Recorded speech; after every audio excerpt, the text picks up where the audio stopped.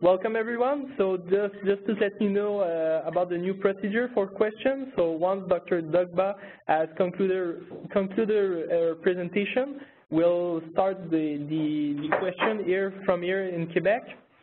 And then, uh, and then uh, we'll go with the other side, just to remind everyone to keep their microphone on mute. So I'll present uh, Dr. Mama Joyce Dogba. She's an assistant professor and researcher in the Department of Family and Emergency Medicine at Laval University's Faculty of Medicine.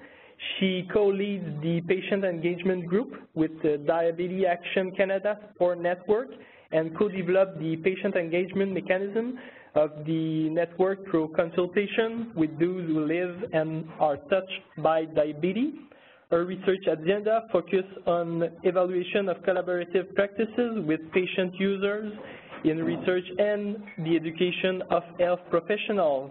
Dr. Dogba holds a degree in general medicine from Togo and a PhD in public health from University of Montreal.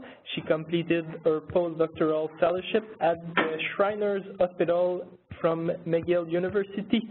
So we're very glad to meet Dr. Joyce Dogba. Thanks, Simon. Uh, so hello, everybody. Uh, it's my pleasure to start my presentation this uh, afternoon. So the title, as you can see uh, on the slide, is Relay the Message from Deliberative Dialogue to Knowledge Translation and Effective Research Tool. So as you can see once again, this is a work that has been supported by researchers from Laval University, Montreal University, and the Quebec Support Sports Support Unit.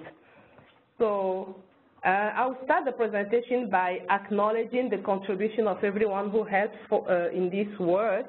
After I will give a, a short word of context, where does this project come from, I will then present the learning objectives and then uh, present the knowledge translation method and mechanism. We will then define what a deliberative dialogue is.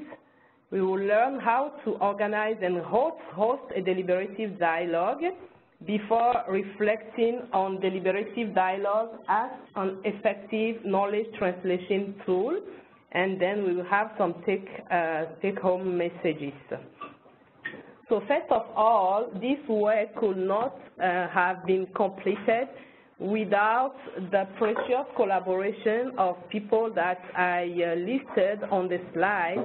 As you can see, we have some researchers from Université Laval, Mathieu Humet. I had a project coordinator. We have research assistants, and we have two researchers from Montreal University, and then we have the uh, invaluable uh, contribution and financial support of the Quebec SPOR Support Unit. So just a word of context, where does this work come from? As you can see on the slide, is two things, two entities that supported this work. The first one being the Quebec SPOR Support Unit, who was, inter was interested in knowing what researchers and decision makers define as deliberative dialogue, and also whether there is a systematic process for organizing and holding deliberative dialogue. Then we have the RINA research team located in Montreal, who uh, the, the research team which uh, work on what the research status of knowledge translation in, so, in social science is, and then we have a joint question that is question number three that is shared both by the Quebec SPOR Support Unit and the RENA team that is to know whether deliberative dialogue are effective way for knowledge translation. So to answer the question of the Quebec SPOR Support Unit, we carried out, we carried out a scoping review, so in health uh, service research, and the RINA research team carried on an ongoing information monitor, monitoring uh, system. And today's presentation is at the junction of the two works that I was glad to be part of. So as I was saying, we carried out a scoping review. I believe all of you know what scoping review is. In one word, is a, a rapid mapping of the literature and of, on, of the evidence on a theme, a research theme, or a new domain. And, but it follows a systematic way of doing it. So starting from what is the research question, what are the relevant studies? So in our case, we went and looked for relevant studies in PubMed, Embase, and Web of Science with the help of a librarian. And we charted the data using some, um, um, some grids that I mentioned on the protocol. So if you want question about that one, I'm glad to answer after. And as I said also, the RENA research team carried out a continuous information monitoring, monitoring system. So those work together led, the scoping review led to the identification of 82 articles, as you can see on the slide. So we started by 5,631 articles and narrowed it down through a very um, systematic and rigorous process down to 82 articles. And we added two articles, anyway, I added two articles that was, the first one is a systematic review and the second one is a scoping review on the status of what the research and knowledge translation is in social science. So you have the references and I invite you to consult them if you want more information on that. So now let me come to the learning of the objective of this knowledge translation round. I have three objectives and it will be uh, my pleasure if after this presentation, every participant will be able to identify what the three core characteristics of a deliberative dialogue for knowledge translation is, if we can describe or at least remember what are the fundamental steps uh, when you organize or host a deliberative dialogue, and also to be equipped to be able to reflect or discuss on deliberative dialogue as an effective method for knowledge transmission. So as you can see, those objectives align with the, the first three research questions, the first two that guided the scoping review, and the third one that was shared by the scoping review and my participation in the RENA research team. So first of all, we, before uh, talking about deliberative dialogue, I know that most of you uh, are familiar with knowledge translation, so I'm not going to, de uh, to describe it in detail. Neither am I going to um, start talking about all the theories that you are familiar with knowledge translation. But I just want to borrow from the CIHR definition of knowledge translation, which is a dynamic and iterative process with the aim to improve health and strengthen the, uh, the healthcare system. And that is composed of many things. For me, the most important one I want to focus on is the dissemination of knowledge, but also the ethically sound application of knowledge which is also known as the implementation of knowledge. And one of the things that I cannot overlook is the fact that for this presentation, when I'm talking about deliberative dialogue, I'm more focusing on researchers and knowledge users, even though my expertise is more in working with patients. But this is fundamental for the presentation that I'm doing today. So uh, knowledge translation has a lot of mechanisms that can help to implement knowledge. And I'm not talking about dissemination, I'm talking about implementation of knowledge. And the work we did with the RENA research team helped us, based on the two articles that I mentioned to you in the beginning, to categorize the mechanism of implementation of knowledge translation in six categories, and I'll come back to that later. But let me draw your attention on one category, that is the interaction, because deliberative dialogue is an interactive uh, um, mechanism of knowledge translation. As I'm saying, I will come back to what those categories are and whether they are effective tools for knowledge translation or not.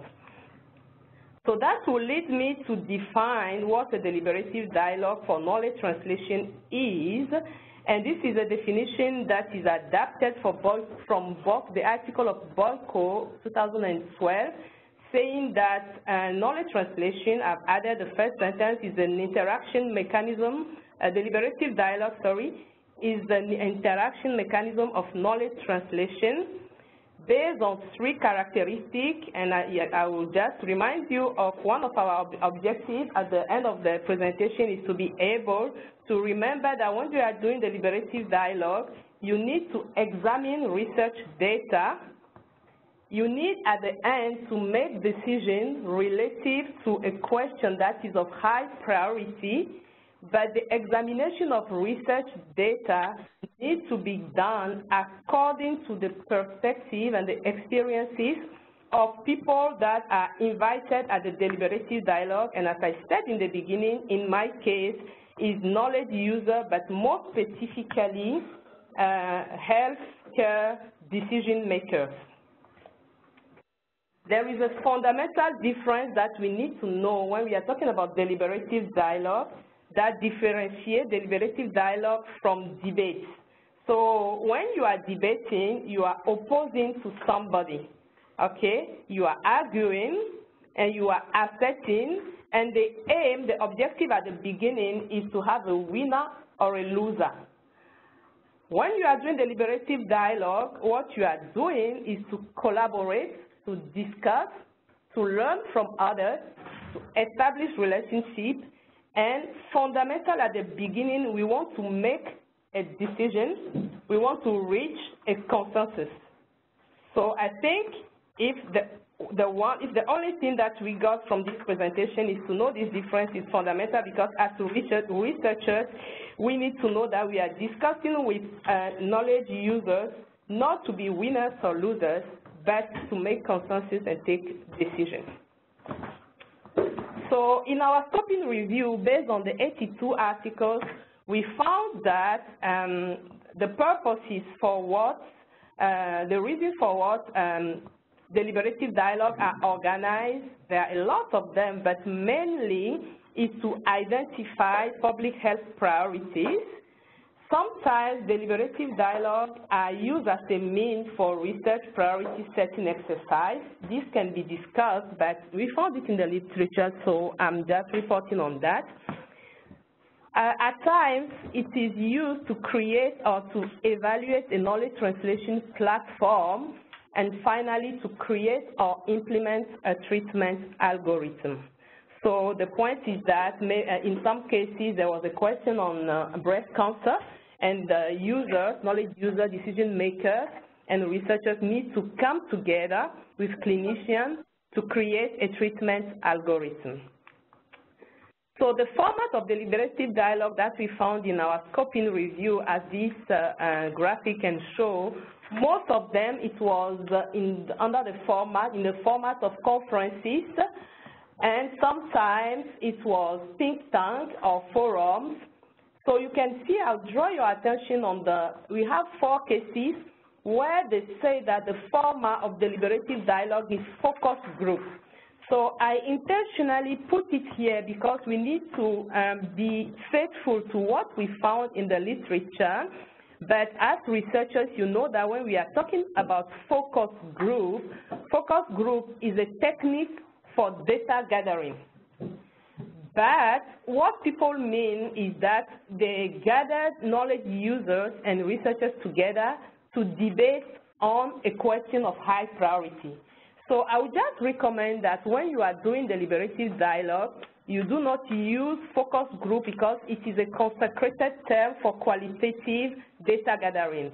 But because we found it in the literature and it is named like that, I put it on the graphic.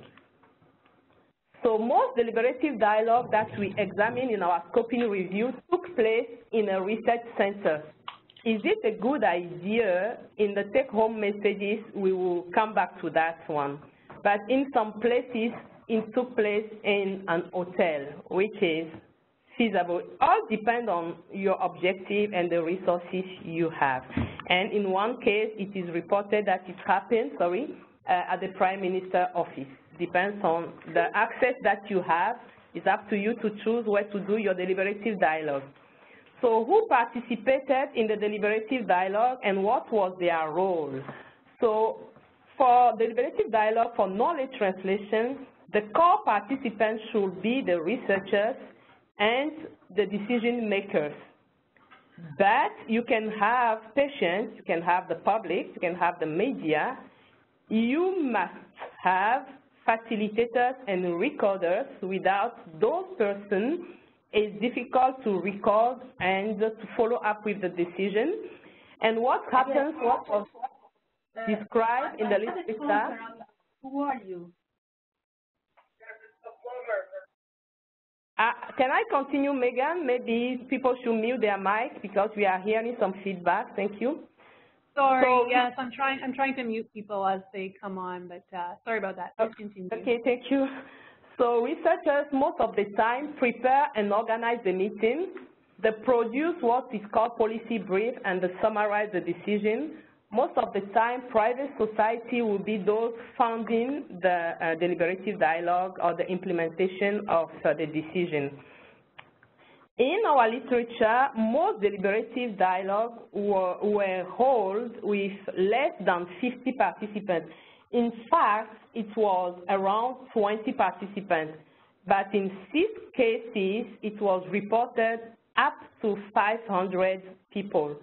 Is it an effective way for taking decisions? I think you can organize yourself, but recommendation will rather go to 50% maximum. It facilitates decision-making process. In summary, what we found in the literature, uh, the scoping review, uh, is that 80 uh, out of 82 deliberative dialogue happened in person, but we have some six that was asynchronous. That means that uh, all the meeting did not happen at the same place, but meeting was uh, uh, happened in different time about the same subject. We also have sometimes where follow-up was made by email and telephone. So we have in-person meeting followed up with email and telephone to uh, implement the decision. And as I said, usually we have eight to 10 participants per meeting, okay? So per meeting, because first of all, we need to go back to the literature to see whether, because some people have two meetings, no, but it was eight to 10 participants per meeting. And sometimes they have a meeting of two hours, sometimes they have a meeting of uh, two days, okay? So now I'm uh, taking you to our second learning objective is how to organize and host a deliberative dialogue. I think one thing to remember is, is that intuitively you can even think, even whatever you organize, you have a before, a during, and an after. Okay, so this also follows that simple or simplistic rule. The only thing is that you need to be careful to what you do before.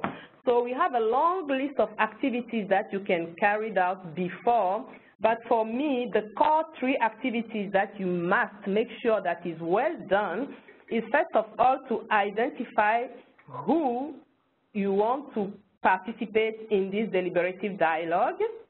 The second one is, as we say, when people are coming together at the deliberative dialogue, the first condition, we want them to examine research data. So you need this data to be available. So before the deliberative dialogue, if in your research team, you can uh, have some people in charge of a contextualized literature, literature review on what you are going to examine at the meeting. For example, you want to uh, a decision making on uh, the uh, use of uh, of drug in um, in Quebec. So you need to know what is the situation. So carry on a quick and rapid literature review, but never go without this knowledge